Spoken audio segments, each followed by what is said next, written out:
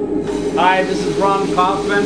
I'm at Lux Island Resorts in the Maldives with a local Maldivian named Hassan and a gentleman here from Sri Lanka named Fayas. And we're in a unique place. We're behind the scenes in the roasting facility with a Dutch coffee roasting machine. Now, why in the world is there a roasting machine here on an island in the Maldives? because our hotel Lux, we thought for different always. Some guests say uh, in some hotel the coffee is really poor, and then they go out of the hotel to get a decent coffee on the street for famous brands and then we thought let's go for a change. Then we bring this machine here, and then we start our own brand. So rather than guests having to leave the resort to go to some well-known coffee shop brand Yeah. and get a good coffee, you wanted to be different and Yeah. let them be right here in the resort and get a great coffee. Yeah, of course. But how different is your coffee really? It's really different because to make our one cup of coffee, we bring from uh, coffee beans from diff- different three countries in the world: Which countries? Brazil, Brazil. Guatemala, Ethiopia. Why these three countries? Brazil coffee give a smooth taste in the coffee, Okay. and Guatemala give the flavor and the aroma in the coffee. The aroma. Yeah, Ethiopia, Ethiopia gives the caffeine taste. I mean the acidity, the taste. the acidity. I taste the caffeine taste. Yeah, And so then you mix the blend of these three coffees yeah.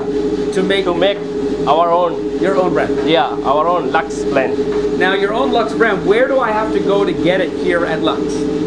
You can go all the restaurant, all the bars, Okay. but there is a special place that you can go obviously. For our own brand, we have make a, our own outlet only for the coffee especially. Uh-huh. It's just next to the reception, in front of the reception. And it's Name, Cafe Lux. Cafe Lux. Yeah. Your own coffee bar. Yeah, our own coffee bar. All the worldwide coffees you can get. Lattes, macchiatos, flat white, espresso, anything. Fantastic. Yeah. Now, who taught you, a Maldivian, how to roast coffee and how to be a barista? Well, when we thought for a change, our management say yes, it's time to change. And then they send two guys from South Africa to train us here. Okay.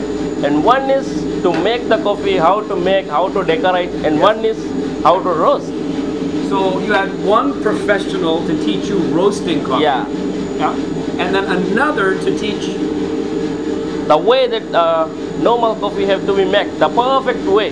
So there's a, a presentation to the Yeah, coffee. yeah. Almost like artwork. Yeah, no. Yeah. Some of them that I've enjoyed from Cafe Lux, they look so beautiful and taste so beautiful too. yeah. Now, can a guest also enjoy this coffee in the room or in the suite? Yeah, there is a small packet in green color. In outside it's written Island Blend Cafe Lux, Ah. and it's 50 grams packet. There is a plunger in the coffee. Guests can enjoy anytime. And if they want more, they just call for housekeeping, and then they will fill the uh, bar. And what if I want to take it home? There, in the Cafe Lux, there is a small small portion specially for the guests, which can take out. Wonderful.